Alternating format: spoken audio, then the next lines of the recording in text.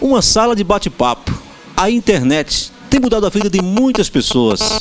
Conhecemos várias histórias de pessoas que se conheceram pela internet, acabaram namorando através da internet, se conhecendo e hoje são casados. Essa é a história do Rubens Colomina, ele que é da Espanha, e da Andressa Gonçalves dos Santos, 29 anos, mas que nasceu em São Paulo, mas que mora muitos anos aqui na cidade de Caicó. Foi com o Rubens que ela passou a conhecê-lo através é, de uma, um bate-papo de intercâmbio de línguas na internet. Começou uma amizade que terminou em amor. A Andressa está conversando inicialmente com a gente, está aqui ao lado do Rubens. É, inclusive, vão casar, vão para a Espanha. Uma história com um final feliz, graças a Deus. E aí, Andressa, como é que foi essa, essa questão toda de você uh, através da internet, conhecer aí o Rubens? Como começou tudo? É, bom dia. É, começou, eu estava procurando aprender três idiomas, o italiano, o inglês e o espanhol. Aí eu fiquei muito assim, muito apertada com as três línguas e optei só pelo espanhol. Aí, numa sala, numa parte que tem do site do Buzu, tem assim, conversar com os nativos da, da língua. Aí eu comecei, aí eu cliquei no espanhol, gostei do sorriso, tinha na foto, aí comecei a conversar e fui gostando, fui me encantando. Aí comecei no dia 29 de março e do dia 4 de abril já fiz, forcei ele me pedir em namoro. Aí desde o dia 4 de abril que a gente está até agora. E já faz dois, dois anos e dois meses que a gente conversa e já veio a primeira vez ao Brasil para minha formatura e a segunda vez agora para casar. No início, você não teve assim um pouquinho de medo? Você sabe que na internet hoje as coisas acontecem muito, né? Pessoas que se que mentem na internet, pessoas que uh, botam foto diferente. No, no começo você não teve um certo, um certo receio, não, para saber o que o que estava falando era verdade, se aquela foto era ele mesmo, tal. Como é que foi? Eu não tive medo porque geralmente assim, eu já tive é, antes de entrar na internet para falar com outra outra pessoa, qualquer pessoa que seja, eu tive indicações de colegas que também já falam na internet, conhecem várias pessoas assim.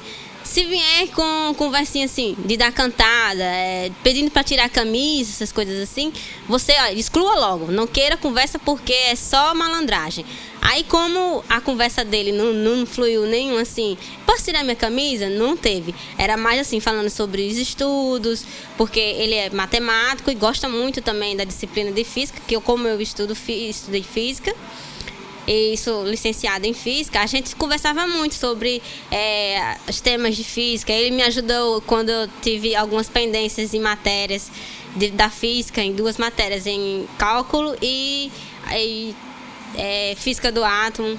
Ele me ajudou a, a passar. Eu passava uns problemas para ele, ajudava eu tentar corrigir, fazer acertar e fazer muitas provas, provas que eh, do começo, antes de, de conhecê-lo, eu tirava nota muito baixa. Depois, com reforço do estudo, aí comecei a tirar nota melhor no, na disciplina que eu fiquei pendente. E a gente começou a conversar, assim, ficar conversando. Sabia que tinha coisas em comum é, em relação aos estudos, os interesses, interesse por música. É, para aprender a falar alguma coisa do espanhol para o português. Eu mandava minhas músicas em português para ele, ele ficava escutando.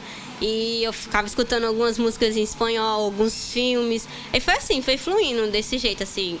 É, o que a gente tinha em comum, a gente passava um para o outro.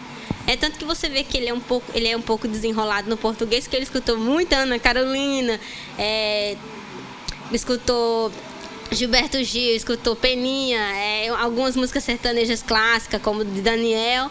Aí ele começou a desenrolar bastante o português. Quase, quase sendo cantando uma dessas músicas aí, né? quase. A música de Michel Teló, ele sabe cantar todinha. Olha aí.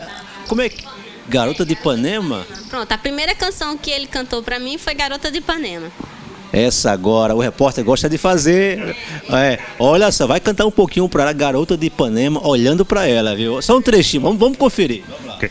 Hoje que coisa mais linda, mais llena de graça É a menina que vem e que passa Um doce balaço caminho do mar Hoje essa, eh, que, oh, que, oh, que, co- que triste, que coisa mais triste. Oh, essa. É, desculpa. Estou um pouco nervoso. É, oh, porque estou tão sozinho. Oh, a beleza que existe, a beleza que não sou minha, que também passa sozinha. Ah, se ela soubesse que quando ela passa, o mundo sorrinda e cinza de graça e fica mais linda por causa do amor. Bela, dá um beijo então nela, né? Beleza, uma história de amor que eh, começa, começou na internet e agora virou realidade. Como é que a família recebeu essa notícia, Andressa? Como é que você ah, passou essa informação para tua família que conheceu uma pessoa lá na Espanha e que queria conhecê-lo pessoalmente? Primeiro, eu não. Logo do início que eu comecei a conversar, eu não dei a notícia que estava se comunicando. Mas, assim, passam uns seis meses, oito meses, aí eu disse que estava é, interessada uma pessoa da, da Espanha. É, escutei muitas conversas assim, ó, é muito perigoso, assim. Ah, Mas ele, ele que venha para aqui primeiro conhecer você. Você não vai para lá de jeito nenhum. E se for, só vai casada. Aí eu fiz, olha, eu não vou poder ir para aí, mas se você quiser vir, ó, tem a minha formatura, é um momento de, de, de se, se distrair, de uma, uma festa, você vai conhecer meus professores, vai conhecer minha família inteira. Aí ele veio e estamos aqui. Tá feliz? Tô feliz. Vai embora para Espanha com ele e a família, né? Vai bater a saudade com certeza. Não, vai, mas a gente vem quando tiver a oportunidade de alguma férias, de tirar férias ou no, no carnaval, ou se não na festa de Santana, ou na, passar o Natal, ou se não ano novo. O que a gente puder fazer, a gente vai sempre tentar. é, e também a gente pretende também tentar construir alguma coisa para ver se a gente é, consegue comprar uma casa aqui e morar aqui em Caicó. Olha aí, quem sabe? Tem planos, tem planos. A gente tem planos. Basta eu é, estar bem com o espanhol lá, a- a- o idioma espanhol, arranjar um emprego, aí a gente vai juntar, vai poupar o dinheiro para ver se compra uma casinha aqui. Muito bem, olha só, essa aí é a Andressa Gonçalves dos Santos, 29 anos, conheceu o Rubens, eh, 36 anos, da Espanha pela internet e vão casar e vão viajar daqui de Caicó para a Espanha. Após o intervalo, bate-papo com o espanhol com o Rubens Colomina, 36 anos. Ouvir dele também essa história toda do- da- de conhecer a Andressa pela internet e resolver vir aqui para o Brasil. É rapidinho após o intervalo. Voltamos então após o intervalo aí com esse bate-papo com o casal, a brasileira Andressa Gonçalves dos Santos, 29 anos, conversou com a nossa reportagem e vamos conversar agora com o espanhol Rubens Colomina, 36 anos, que mora numa cidade muito, nome muito complicado. Eu não vou arriscar falar não, um pouquinho Torrejo. Como é que é? Torrejo. Torrão, torrão de arroz. Pronto, pronto. Torrão de arroz. torrão de arroz. é bem complicado. Torrão de arroz. Lá na Espanha. E aí, Rubens, como é que foi bater esse papo aí com a Andressa pela internet? Você já, já andava nos seus pensamentos um dia conhecer uma pessoa fora do seu país?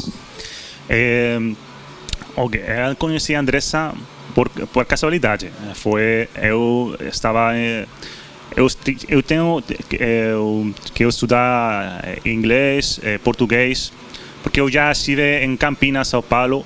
Conheci, tive uma, uma antiga namorada que conheci na Espanha com, com a que eu estive em Campinas para conhecer ela, mas as coisas não saíram bem, porque eh, tínhamos incompatibilidades de caráter. So, a gente só fez negócios, porque ela, as coisas de informática, eh, software, porque eu, é meu, tra- meu trabalho. Eu sou engenheiro de software, eu trabalho com, com simula, simuladores de, de helicópteros eh, na Espanha.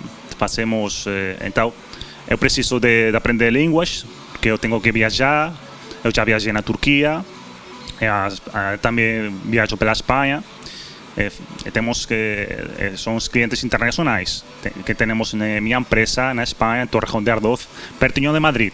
Se chama Indra, minha minha empresa onde eu trabalho, de já eh, mais de seis anos.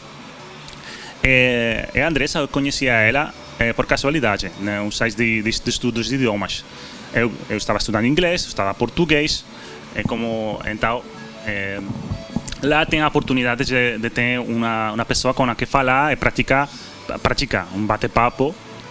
É, então eu comecei a falar com a Andressa para o bate-papo e já a gente já viu que, que estava interessado entre um, um, um, por, um por outro, porque tínhamos coisas em comum, a gente, a gente era engraçada, é, a gente. É, então, isso. É, foi, foi. Então, eu. Eu, eu queria. Esta, esta mulher é muito linda, é muito engraçada, é muito inteligente. Vou, vou, vou, tra, vou tratar de, de, de cuidar e de enviar mensagens para ela, para que veja que estou interessado nela. Mas as coisas foram pouco a pouco, por casualidade. Como é que foi você também? É, claro, você tem família lá, tem pais, tem irmãos. Você passou como é que a tua família lá na Espanha encarou também esse fato e você veio aqui para o, para o Brasil para casar? É, princípio, é, eles falaram, e por que você não, não, não, não, não pesquisa uma mulher, uma mulher espanhola?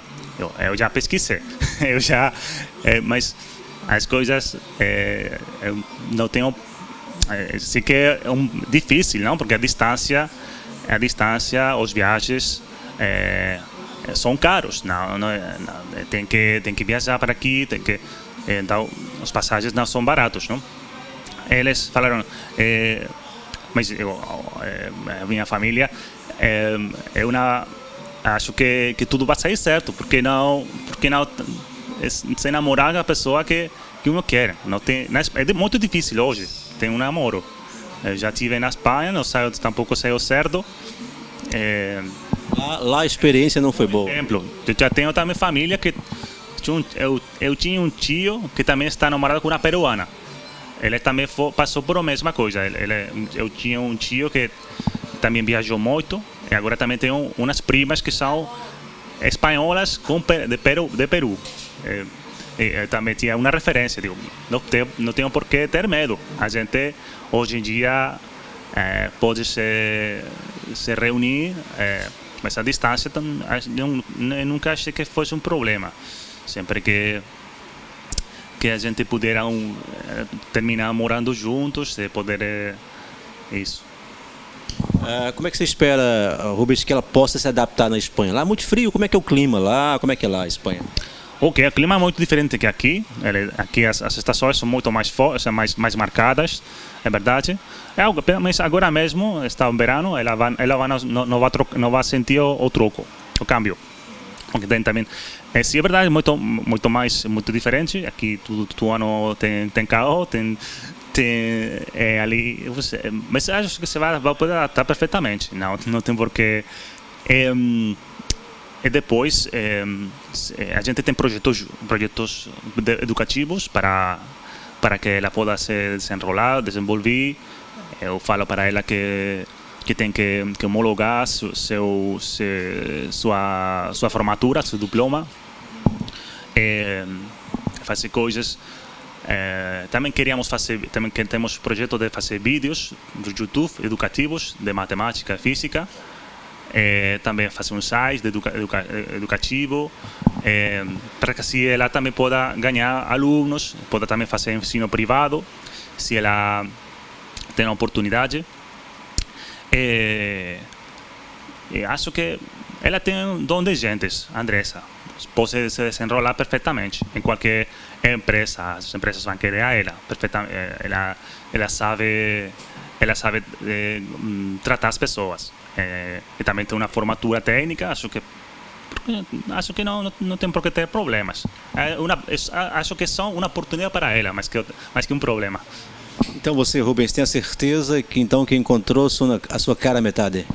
É, é sim, é porque a gente tem o mesmo caráter, tem, é, somos somos duas pessoas que tem, são tranquilas, são, temos, podemos fazer piadas um com o outro sem problemas. É, sim, eu sinto muito bem com ela. Estamos é, bem, bem unidos. Sim, estamos já, já a Andressa, eu sinto a ela que é parte de mim. Ah, tem data, inclusive, de casamento marcado já? É, sim. Já temos data de casamento já pertinho. já dia 25 já a gente se casa. Se, e se a gente pode casar dia 25, já vai embora. Já temos os bilhetes comprados, passagens, desculpa, as passagens comprados eh, para dia 9. Passa uma lua de mel, Natal. Acho que também dois dias em Rio de Janeiro, para só para trocar de, de, de voo, e já voltamos para Madrid. Ok, então boa sorte aí para o casal, a brasileira Andressa Gonçalves dos Santos, 29 anos de idade, e o uh, Rubens Colomina, 36 anos, que é espanhol, conheceu aí a, a Andressa pela internet, pelo bate-papo de intercâmbio de línguas, e a gente deseja boa sorte para vocês, tá bom? Ah, muito obrigado. Boa sorte para você, Andressa. Muito obrigada. Que mensagem você deixa aí para também, deixa eu aproveitar o finalzinho agora, que mensagem você deixa também para as pessoas que de repente querem conhecer outras pessoas pela internet? Que dica, que, que, que recado você dá para essas pessoas para ter cuidado também? Sim, a dica que eu dou é que tenha cuidado em algumas palavras maliciosas, que geralmente sempre em palavras maliciosas, que em segundas intenções, é que você deve se afastar. Mas se a conversa fluir com coisas boas, por que não? Dar a oportunidade de conhecer alguém. Essa é a mensagem que eu passo.